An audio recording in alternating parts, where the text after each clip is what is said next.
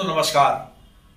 आज हम आपको मुखातिब कराने जा रहे हैं डालिमा अग्रवाल जी से, जो बड़ी इंटीरियर डिज़ाइनर है बरेली शहर की, नामचीन हस्ती हैं, परिचय की मोहताज नहीं है। आपके पति डॉक्टर राजेश अग्रवाल आईएमए के अध्यक्ष रहे हैं, जिनके कार्यकाल में आईएमए ने तमाम कीर्तिमान और आयाम स्थापित किए थे। आज हम आपको मिलवाने जा रहे हैं डॉक्टर डालिमा जी से, जो आपको बताएँगी कि महिलाओं में सशक्तिकरण का मतलब क्या है? किन महिलाओं को सशक्त कहेंगे? महिलाओं को किस तरीके का वातावरण चाहिए? किस तरीके का परिवेश चाहिए? और महिलाएँ क्या नहीं कर सकती हैं? सुनिए डालिमा अग्रवाल की जुबानी। जुड़ रही है हमारे साथ, देखते रहिए हमारी ये खास रिपोर्ट। सशक्तिकरण के लिए क्या कहना चाहेंगी मेरे दर्शकों से? मैं मिसेस डालिमा अग्रवाल हूँ एक इंटीरियर डिज़ाइनर हूँ पिछले 25 सालों से बरेली शहर में ही मेरा इंटीरियर डिज़ाइनिंग की प्रैक्टिस कर रही हूँ। मेरा ऑफ़िस रामपुर गार्डन में है with the name Dalam interiors और काफ़ी प्रोजेक्ट्स करे हैं मैंने हर तरह के। तो सशक्त, महिला सशक्तिकरण के लिए मैं ये कहना चाहती हूँ कि एक तो एक बहुत ही गलत नोशन समाज में पैदा हो गया है कि हमें करियर बनाना है। करियर बेस्ड महिलाएँ ही सशक्त होती हैं या विद्रोह करना है, वही सशक्तिकरण है। असल में सशक्तिकरण का मतलब ही नहीं पता है। सशक्तिकरण अगर मैं दो लाइनों में कहूँ तो ये है कि पहले हमें अपने कर्तव्य करने हैं, हमें अपने डिसीजंस लेने की आज़ादी होना चाहिए। सशक्तिकरण ये है। अब वो आज़ादी कैसे मिलेगी? पहले हमें हमें अपने आप को काबिल बनाना है। पहले हमें उतना कर्मशील होना है, हमें उतना गंभीर होना है, अपनी चीज़ों के प्रति अपने नैतिक दैनिक जो हमारे काम है, उसके प्रति हमें गंभीर होना है, संजीदा होना है अवेयर होना है। नॉलेज डेवलप करनी है स्किल्स डेवलप करनी है।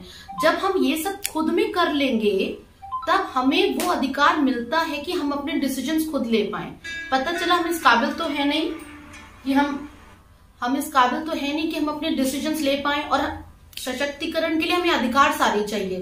तो हमारे माता पिता या हस्बैंड जो हम जिस, जो भी हमारा मेल जो भी हम लोग का ध्यान रखने भाई, जब शादी से पहले पेरेंट्स होते हैं, उसके बाद हस्बैंड होते हैं। तो वो भी हमें कैसे आज़ादी दे सकते हैं? वो हमें इस काबिल समझते ही नहीं है। तो प्रॉब्लम ये है कि फीमेल ये तो समझी नहीं कि उसे खुद क्या करना है। उसने ये समझ लिया, सशक्तिकरण क्या है। और दूसरी चीज़ क्या है? करियर एक हिस्सा होती है महिला का। एंड जो हमारे समाज की संरचना है, उसको भी हमें देखना है। जो भगवान ने बनाई है तो करियर के साथ हमें फैमिली लेके चलनी है। करियर के लिए फैमिली को नहीं करना है। Family is priority. अगर लेडी फैमिली नहीं देखेगी तो भगवान ने उसे बनाए इसी तरह है कि वो उस, उस, उस वो कितनी खूबसूरती से अपनी फैमिली को देख सकती है कोई नहीं देख सकता है।